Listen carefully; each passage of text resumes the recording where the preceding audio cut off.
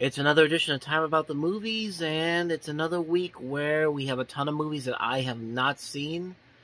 So I can't really do go into full details on the reviews for my for these movies because I have not seen most of these movies. So I'm only going to be able to judge from the trailers. So with that said, let's get right to it. Let's start with the we got five movies to look at. Let's start with the first movie that we have here, and that is the sequel to Class of 1984, Class of 1999. 1998, six million violent incidents took place in American high schools, including 29,927 teacher fatalities. The public school system has been reduced to a battlefield. The Board of Education has just found a solution. The perfect solution. You're next, Mr. Cope. For the class of 1999. What are you? The class of 1999. These androids were supposed to educate the students. Battle droids, Battle droids. To graduate is to survive. The same director that did Class of 1984, Mark L. Lester, actually directed this movie.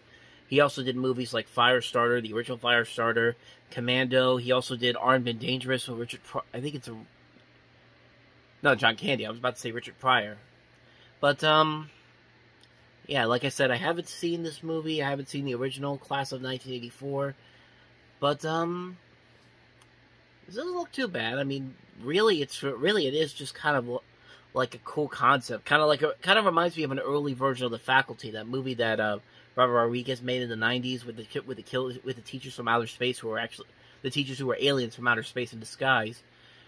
Kind of gave me a feeling of that movie. So, um, I mean, this could potentially be some fun. It's it doesn't really look like anything that's outside of what I'd usually expect to see from a sci-fi action thriller like this. So, I don't know. It could be something to watch one day, but like I said, I can't really go into too much detail on this particular film because I haven't seen it. So, uh, let's go ahead and move on to the next movie.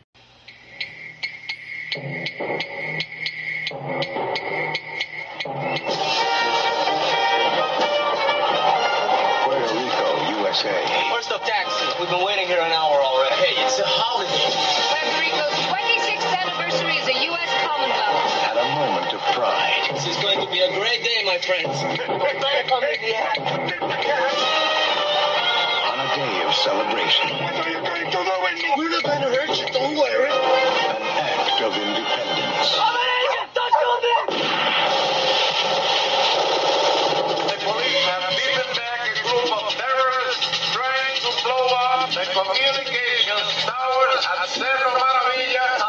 Cops and it's better than it sounds. Make it six o'clock. This is Kate Melendez. They opened fire. Instructed them to drop their weapons. Dead men were identified. I want to know why was my son so bruised. The whole side of his face. It was all busted open. You know, the police are calling him a revolutionary. It's all news. Nobody cares. Forget about it. If you're right about what happened on the mountain, then the truth is bound to come out. I'm not backing up the story, Howard. True or no? How long was it between the two volley of shots? To see if anyone was following. I didn't see anybody. You're not going to tell where you're working for me. This isn't about the news, Howard. Mommy. Right here, baby. A labyrinth of lies. Everything I ever did was out of patriotism. This is in Chile. This is in Cuba. We're Americans. You used me. Amy Irving. Cops shouldn't get away with murder just because they're Garcia. You're trying to entrap me. Well, that was your job, son. Lou Diamond Phillips. You got me in a lot of trouble, Kate. And Robert Duvall. You're off the air. That's it. You're firing me? How much will one woman dare to face the threat I'm really gonna have to do something about you, Kate. that lies behind the truth? It's in America's interests. I don't want nothing else to People know about it. Of a show of force. Well, on the one hand, there's certainly some stuff in here that could be considered very topical, especially considering today's news and how that's played out. But on the other hand, though, this looks like a type of movie that it feels like another one of those movies that was blown up for television, like it was originally intended to be something to be seen as the NBC movie of the week. But because they have a cast that includes Amy Irving, Andy Garcia, Lou Diamond Phillips, and Robert Duvall. I guess they thought it was good enough for the big screen, but I don't know. I haven't heard too many good things about this one, so I can't really comment on it. But I mean, like I said, it looks like a movie that's gonna be gonna be primarily a movie that looks like something made for television, blown up for the big screen. Unless somebody, unless it really has more of a critical reception that I'm seeing on here, because I couldn't find any decent reviews for this one, and nothing, nothing about the movie really stuck out for me. So, judging from that trailer, I mean. So, uh, yeah, that's a show of force, and now on to the next movie. Had been foretold. Its fate had been forewarned. He did not know that something so sweet could be so evil. Now, the fate of mankind hangs in the balance as Kadeem Hardison, TV's Dwayne Wayne. This honey I met the other night is bad. Bad. Super bad. And Bill Nunn from Do the Right Thing get busy in the first contemporary horror thriller of its kind. James Bond III's Def by Temptation. She's every man's dream and your worst nightmare. She leaves with men, and you never see them again. I'm on a mission and nobody can cramp my style. So if you can't get down, stay at the trip for a while. I don't mean to be trailing on my Def by Temptation, a new movie from Troma. Now, this definitely looks like a movie I could get behind. A movie that knows what it is. It's a Troma movie, so it's gonna be so it's obviously gonna be a little bit over the top, but it looks like a legitimately good horror movie. I mean, this is directed by James Bond III, but it has a cast that includes Kadeem Hardison, Bill Nunn, Samuel L. Jackson, and uh, I mean, it looks like it could be looks like it could be pretty good. Like it's like usually I don't usually this the last couple of horror movies I've looked at on here look kind of generic. They look kind of forced. They look don't really look like they have too much to them. But this movie looks like it at least has some kind of fun aspects to it that could make it enjoyable, even in a cultish, campy way.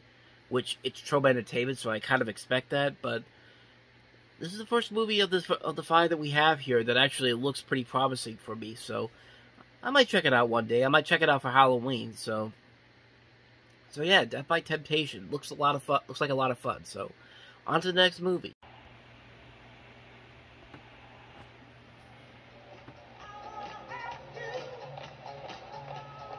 1981, a group of friends were having the best time of their lives.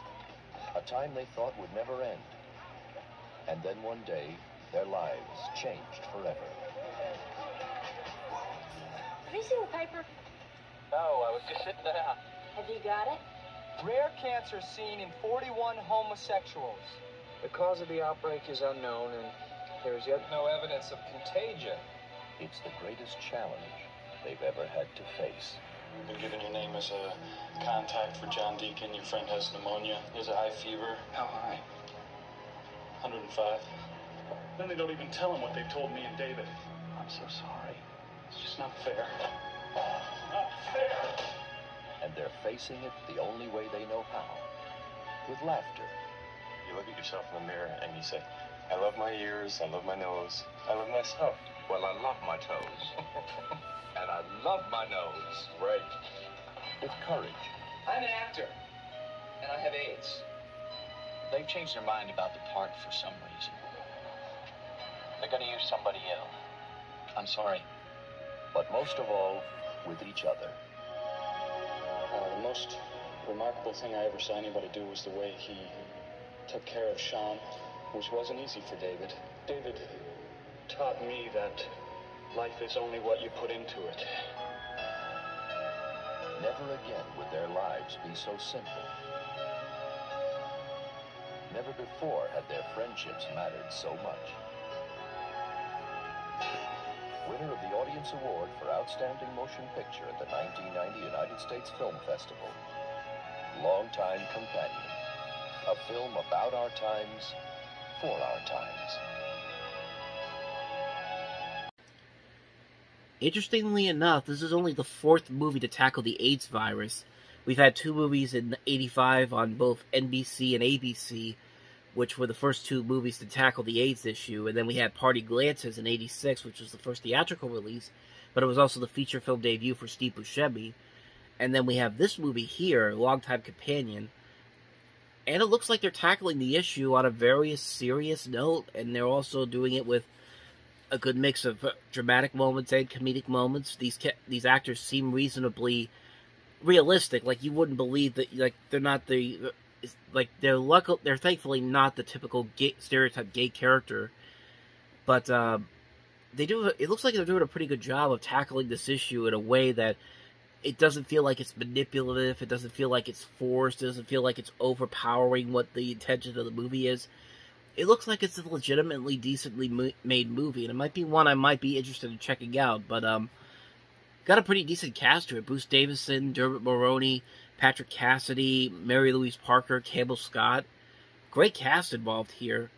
Uh, this director is Norman René, and I'm not too sure what else he did. Let me.